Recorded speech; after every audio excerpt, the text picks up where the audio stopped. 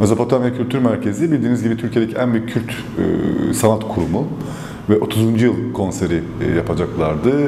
Dünyanın birçok farklı yerinden Kürt müzisyenler, Kürt e, sanatçılar davet e, edilmişti.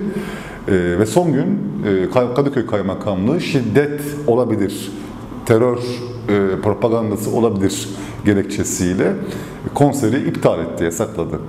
E, Bunda işte HDP'nin e, sosyal medya hesaplarında konsere çağrı da vardı, konsere katılım çağrısı vardı. Bunu gerekçe göstermişlerdi. Biz de şu noktada davaya karar verdik. E, Yıllardır, son yıllarda Kürt e, müziğine yönelik artarak devam eden bir baskı var. Neredeyse konser yaptırmıyorlar İstanbul'da. Yani Mem Ararat işte iptal edildi, MKM'nin konseri iptal edildi, Diyarbakır'da, Van'da, Adana'da yine Kürt sanatçıların konserleri iptal edildi. Biz bunun bir pilot dava yapmaya karar verdik. Yani e, çünkü şu ana kadar açılmış bir dava da söz konusu değil. Yani Kürt müzisyenleri bir dava da açmış değillerdi. Biz bunun pilot dava açmaya karar verdik ve Kadıköy Kaymakamlığı'na başvuru yaptık bu kararınızı geri alın diye. Onlar da red edince biz İstanbul İdare Mahkemesi'ne e, Kadıköy Kaymakamlığı'nın verdiği kararın e, ifade özgürlüğü, e, sanat yapma hakkına aykırı olduğu gerekçesiyle dava açtık. E, işin doğrusu çıkan karar bizim beklentimizin üstünde bir karar. Çünkü çıkan karar sadece e, Kürt müzi- müziğini, Kürt sanatını ilgilendiren bir karar değil. Çıkan karar ise Türkiye'deki tüm sanatçıları ilgilendiren bir karar. E, mahkeme iki yönden bir e, gerekçe ortaya koydu. Bir, e, polisin ve Kadıköy Kaymakamlığı'nın bu konserde şiddet olacağının e, konusunda bir somut veri sunmadığını ifade etti. Sadece polis e, istihbaratı, onun dışında herhangi bir veri sunmamışlar. İkincisi, ifade özgürlüğü konusunda mahkeme ciddi e, gerekçeler sundu. E, sanat yapmanın toplumun her kesimin hakkı olduğunu, herkesin e, önceden izin almaksızın bir araya gelebileceği, toplantı yapabileceğini, e, kaymakamlığı ve valiliklerin e, sanatsal etkinlikleri engellerken ifade özgürlüğüne ve anayasaya dikkat etmesi gerektiğini, keyfi olarak hiçbir konserin engellenemeyeceğini, keyfi olarak hiçbir toplantının, barışçıl toplantının engellenemeyeceğini ifade eden bir, bir karar çıktı. E, ve bu karar elbette e, Kürt müziği açısından bir ilkti. E, bu yüzden pilot dava başarılı oldu.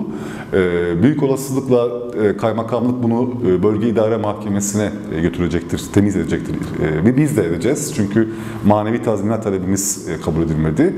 E, ama şöyle bakmak lazım. E, son yıllarda işte Gülşen konserinden Hadise konserine, işte e, Mem Ararat konserinden Mezopotamya Kültür Merkezi konserine geniş bir yelpazede farklı etnik kimliklere sahip grupların, farklı yaşam tarzına sahip grupların, e, kadın sanatçıların, LGBTİ sanatçıların, örneğin Mabel Matiz gibi örneği, örneğinde olduğu gibi konserleri iptal ediliyor ve hiçbirisi dava açmıyor aslında.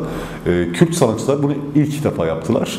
E, yani ilk yasaklanmaya maruz kalan Kürt sanatçılar, ilk e, mücadele eden de Kürt sanatçılar oldu ve Kürt sanatçıların çıkardığı bu karar Türkiye'de sanat yapan herkesi ilgilendiriyor.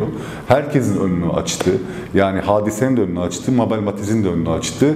Ee, işte e, Sinop'ta e, iptal edilen Kuzey Festivali'nin de e, önünü açtı. Yani iktidarın ve valiliklerin ve kaymakamlıkların keyfi olarak konser yasaklamayacağını mahkeme tespit etti. Ee, biz bu kararın bütün e, bu örneklerde, örneklerde olduğu gibi emsal teşkil ettiğini düşünüyoruz ve herkesi dava açmaya çağırıyoruz. Yani e, iptal edilen her konser için dava açmak gerekir. E, şunu da ekleyeyim. E, hukukun çalışmadığı, hukukun işlemediği bir izlenim var. Doğrudur. Hukuk birçok yerde işlemiyor ama e, bir yerden hukuk geri dönüyor muhakkak. Yani biz bu idare mahkemesinden karar almasaydık, anayasa mahkemesinden alacaktık. Anayasa mahkemesinden almasaydık Avrupa İnsan Hakları Mahkemesi'nden alacaktık. Yani bir şekilde yasal işlemi başlatmak gerekir. Çünkü ifade özgürlüğüyle ilgili mücadele e, sokakta da yapıldığı kadar hukuki yollarla yapılması gerekir. Bu anlamda Kürt sanatçıları Türkiye'deki müziğin önünü açtı diyebiliriz. E, evet bir karar var. Evet e, kaymakamlık bu kararı uygulamayabilir. Örneğin cumartesi sahnelerinde olduğu gibi Anayasa Mahkemesi kararı var ama her hafta her hafta cumartesi sahneleri engelleniyor.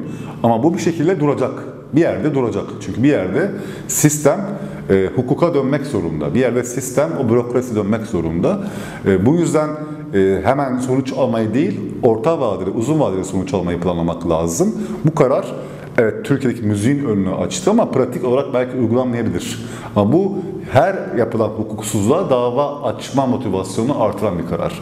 Her yapılan hukuksuzluğa e, suç duyurusu yapma motivasyonu artıran bir karar. E, bir de böyle bakmak lazım. Yani e, genelde Türkiye'de e, hak ve özgürlükler konusunda baskılar Kürtlerden başlıyor. E, ve Kürt toplumu üzerine yapılan baskılar sonra tüm Türkiye'ye yayılıyor. Bunu işte faali meçhullerde gördük, bunu işte e, öğretmenlerde gördük, bunu sendikalarda gördük, bunu e, sokağa çıkma yasaklarında gördük, birçok alanda, seçimlerde gördük. E, aynı şeyi şimdi sanatçılara yaptılar. Önce Kürt müziğine yönelik baskılar oluştu, e, yasaklar oluştu e, ve Türkiye Batı kamuoyu buna ilgilenmedi. Ama şu an Türkiye'nin her yerinde aynı yasaklar var. E, ve e, işin güzel tarafı bu yasaklara karşı ilk mücadeleyi yapan da Kürt sanatçılar oldu.